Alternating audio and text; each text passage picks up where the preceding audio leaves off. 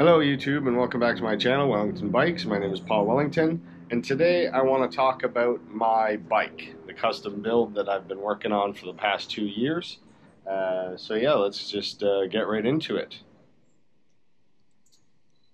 So here we are. This is my current bike uh, that I've built over the last two seasons. Coronavirus has made it quite difficult to uh, obtain parts uh, locally in my area. Um, there are a number of bike shops because uh, we do have tons of trails. There is a good riding presence around here.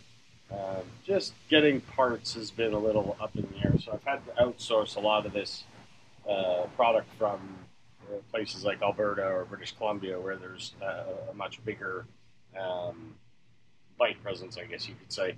Um, so this is a 2019 Stumpjumper Carbon. That's what it started out as, um, comp series uh, and I've torn it apart and completely rebuilt it. So we're going to start with the back end. Uh, so what I've done is I've taken the original rims and hubs off. Uh, I believe the hubs are Formula hubs uh, that are original. Uh, so right now we have a set of Industry 9 Hydra Classic uh, 6 pawl hubs. Um, about 790 bucks Canadian for the set of those.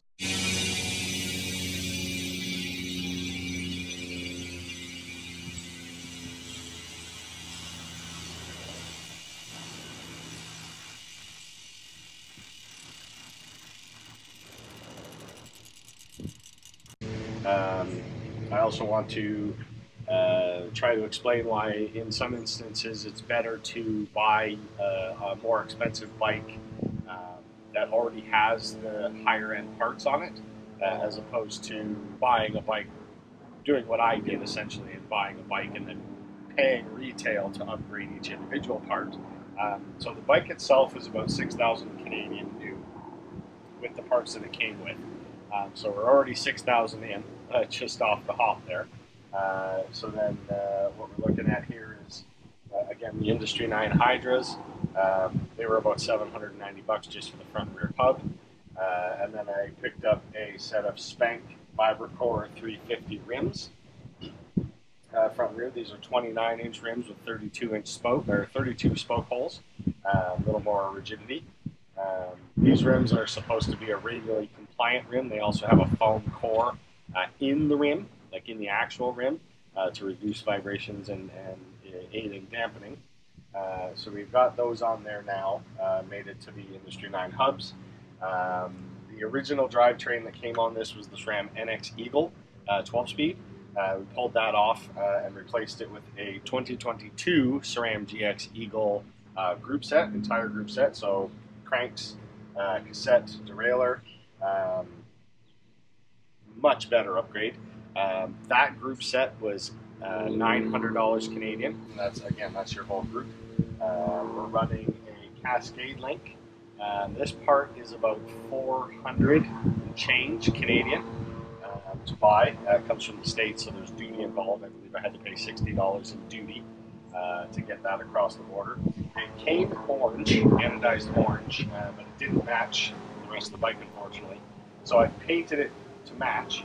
I don't know if it's going to stay painted, but or hold up against riding in the elements, but we'll see. The dropper post and seat are still from the factory. That's a Manic uh, Fusion X uh, 150 mil dropper.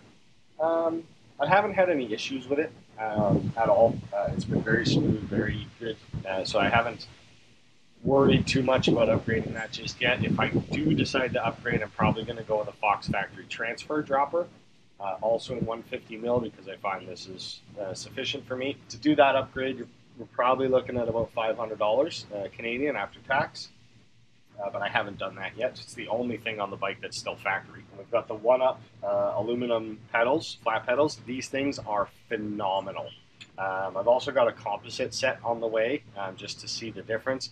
There's a little bit of a weight difference. I believe these ones are 360 grams for the set um, and the composite ones are about 310 and change uh, for uh, their weight. So you lose about an ounce if you go to the composites uh, versus the aluminum. But these have been fantastic. They've held up very well. Um, we get a lot of pedal strikes and things like that with this particular bike. It's a common issue um, because of the low bottom bracket height. I've also got this set into the slack position. Uh, there is a flip chip on this bike. So I am in the slacker uh, position, which lowers my bottom bracket, five millimeters, I should say. Uh, and then moving across to the rear suspension, uh, which originally came with a Float DPX uh, shock. I've swapped that out for a Fox Factory DHX2 coil shock, uh, and that purchase was $1,000. Um, so there's another $1,000 on the bike. Um, and then we took the original um, Fox 34 um, fork, which was a um, standard fork, I guess, or, or entry level 34 fork from Fox. Um, so I've taken that off and obviously swapped that out for a Fox 36 uh, factory. Um, this is a 160 mil uh, travel uh, front fork. Specialized doesn't necessarily want you to put a 160 on the front unless you're running 27 and a half inch tires. And I believe that has to do partially with geometry and partially with the fact that the tire might hit the frame. Uh, a lot of settings on the Grip 2 damper on this fork. Uh, dialing it in is, is definitely a little more uh, finicky because there's so many options. Um, you've got low speed rebound, high speed rebound, low speed compression, high speed compression, um, all working in tandem on this this fork. Um, so if you're not into fiddling and adjusting things all the time, uh, you may want to go with the fit grip damper instead uh, on this particular fork if you're looking to upgrade to this level. Uh, this front fork was $1,750. It's a 2021 uh, model year, um, so there's another $1,750. Um, the bar and stem is actually a OneUp carbon uh, handlebar, really nice bar.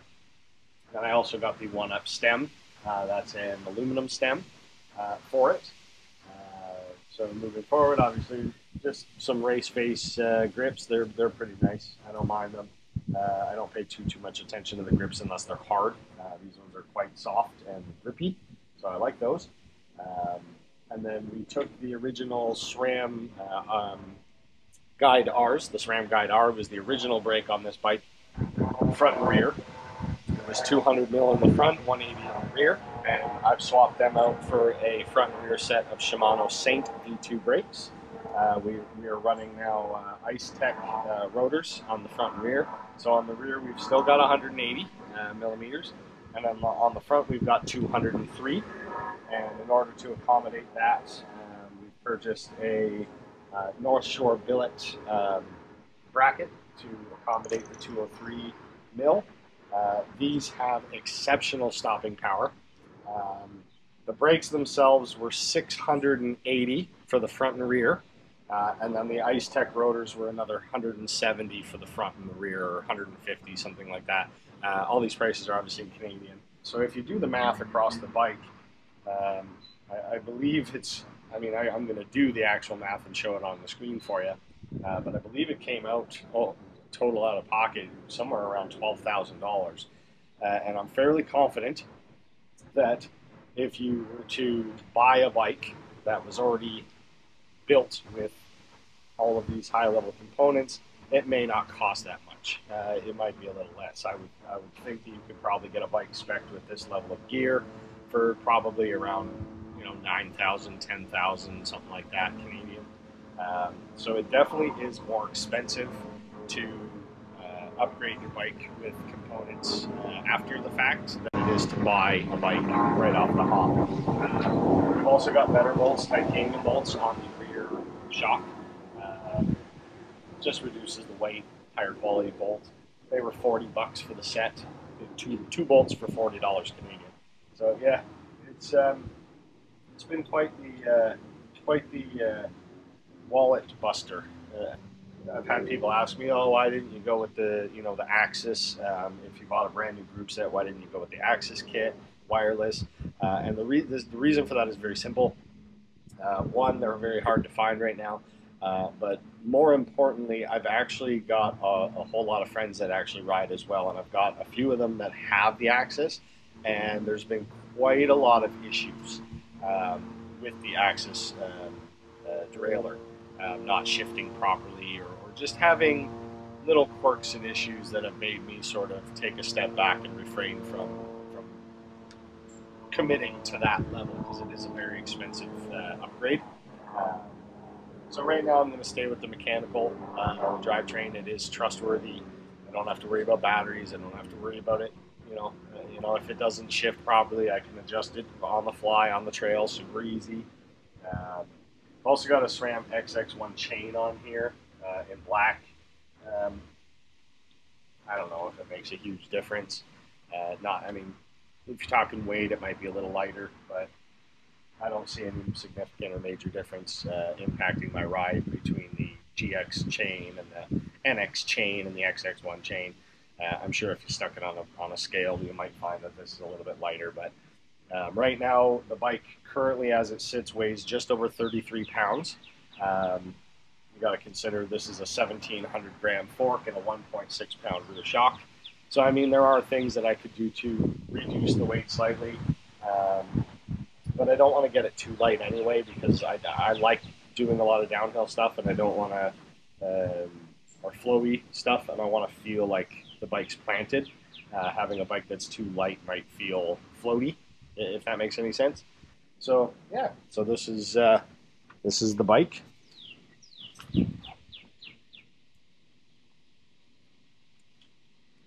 So that's my, uh, I guess, once over and cost analysis and verbal review of my 2019 Stumpjumper Carbon Custom that's fully upgraded. So now let's break down the cost and how much I spent out of pocket to make this build happen.